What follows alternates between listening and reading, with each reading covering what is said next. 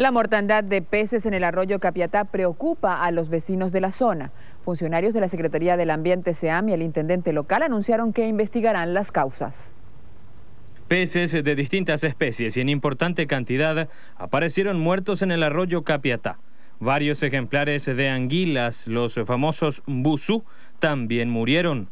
Pobladores del lugar manifestaron que la situación genera olores nauseabundos dijeron desconocer qué pudo haber causado la muerte de los animales, pero remarcaron que no es la primera vez que pasa, aunque en esta ocasión la cantidad es mucho más considerable que las veces anteriores. No saben de dónde, pero es, este, es digamos, veneno que se tira al agua. Tiene que ser veneno porque yo me, supongo que si vos eh, tomás el agua como muestra y tiene jabón, es espumoso hay mucha criatura, mucha gente en este lugar.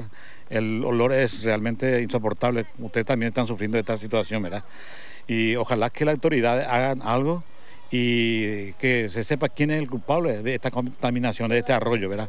Técnicos de la Secretaría del Ambiente llegaron al lugar en la tarde del lunes y manifestaron que este martes realizarán un recorrido en conjunto con autoridades municipales para determinar la causa de la muerte de los peces. estamos coordinando con la gente de la SEAM el día de mañana a tempranas horas poder hacer una, una intervención en la zona a fin de determinar cuáles son las causas de dónde está viniendo este líquido tóxico. Además de la mortandad de peces y anguilas, el arroyo Capiatá contiene una gran cantidad de basura a lo largo de todo el cauce y soporta también los residuos cloacales de los pobladores que viven en las cercanías. Este arroyo desemboca en el lago Upacaraí.